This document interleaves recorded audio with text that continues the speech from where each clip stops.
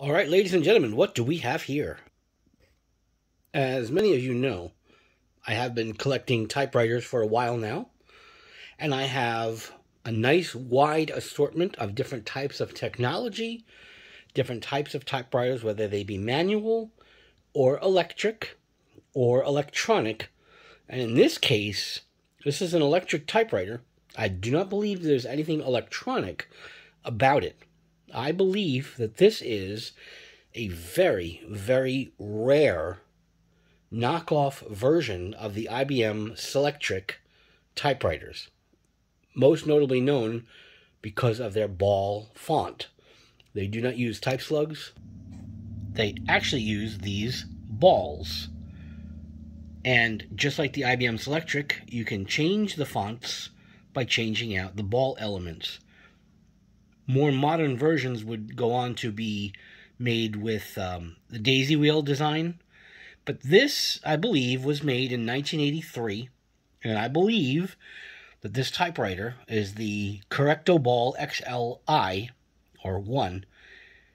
It only lasted maybe a year. I do not know if they made any before or after 1983. I do know that they rebranded it as the Sears Correcto Sphere. Oftentimes, companies like Brother, Royal, Smith Corona, and such would rebrand their typewriters with all the same guts and everything inside, but put a badge on it that says Sears or J.C. Penney or Montgomery Ward was very popular. In this particular case, this is an actual authentic Brother Correcto Ball XLI. Now, if you look at the keyboard, it's kind of like a modern looking keyboard as far as typewriters go. It is electric. And if you look here, you'll see on the top there, now this is a spare spare ball that came with it. This is script. And it's metal. But I've been doing research, and as far as I know, you cannot put, even though they look almost identical, you cannot put an IBM Selectric font ball in here. This is specifically for Brother. Under the hood, you have a carbon cassette ribbon. Okay, again, for its time when most typewriters were using cloth ribbons, uh, inked ribbons that had a black line and a red line, you could switch between black and red. This was rather rare. IBM Selectrics did have this design um, and quite a few years beforehand, but overall, this is quite rare. In order to change the ball, if I can get my fingers in here, you slide this little thing to the side and you lift up, okay?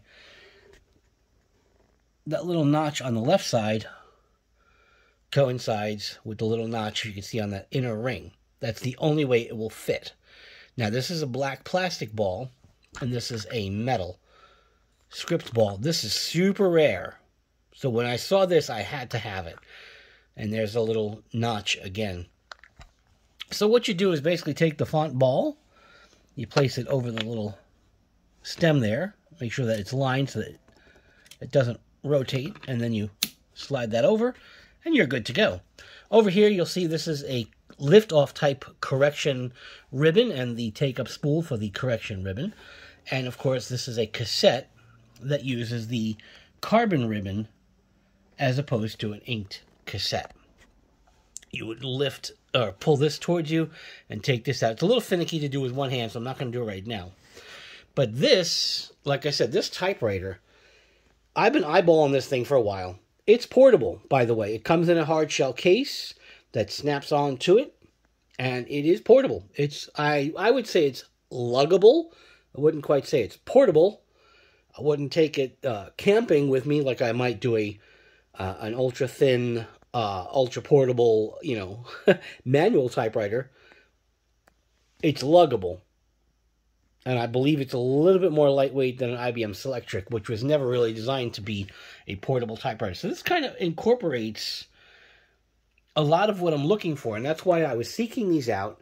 This one was in mint condition. I couldn't say no. So, having just loaded the paper the normal way, um, it does have a power return, which is cool, and it does have the um, correction with this little X here. So if you make an error, you would backspace, you would hit the correct button, and it would lift up the correction ribbon, and you strike the same letter. It sticks to the page, and when it pulls away, it literally rips that word or that letter right off the page. It's a fairly quiet typewriter. I've seen another video out there where it makes a little whirring noise before it kind of settles in.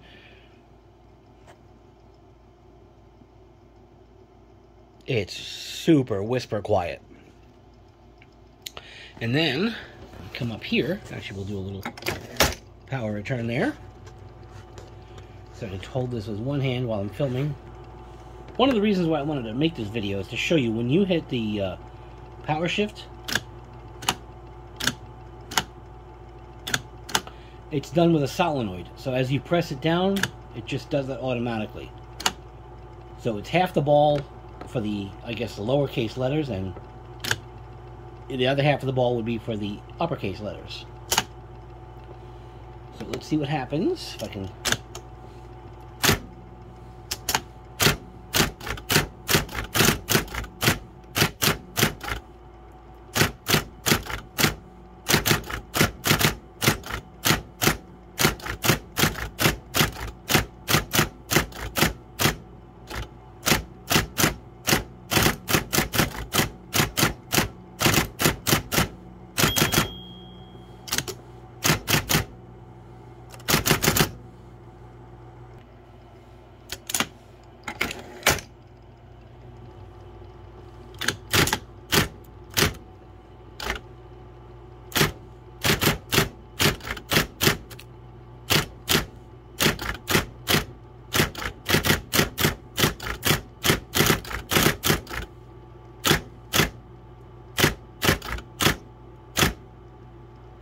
Yes, I typed that wrong on purpose because now what you do if you want to fix it, you hit that button after you've backspaced.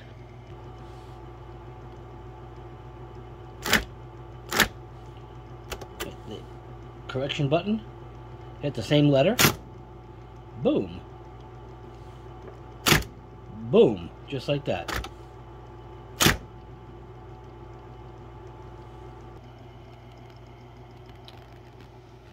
Quite the amazing little typewriter. Don't mind my foot. and I do know that the Sears version, the Correctosphere, um, there is a 1 and a 2. There is also, I believe, a Correctoball without this XLI. And they there was another button here or something I think that did the amount of pressure that it would hit. And there's I think there's something over here that did something else. But overall, this is, you know they're very rare, they're very hard to find, and of course, every time you type a letter or a word, it's money. Okay? You're using up the ribbon. Now, I was lucky to find a bunch of extra ones online, and they're actually going pretty cheap, surprisingly. I will grab as many as I can so that I'll have this typewriter to be able to use to be able to use it for my first novel, whenever that may be. But ladies and gentlemen, that is my brother Correctoball. Very rare, very unique, very interesting typewriter, and I would have to say...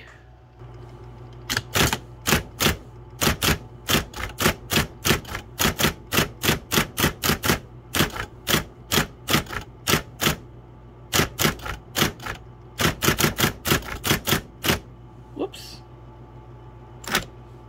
Uh-oh. Let me fix that. There you go.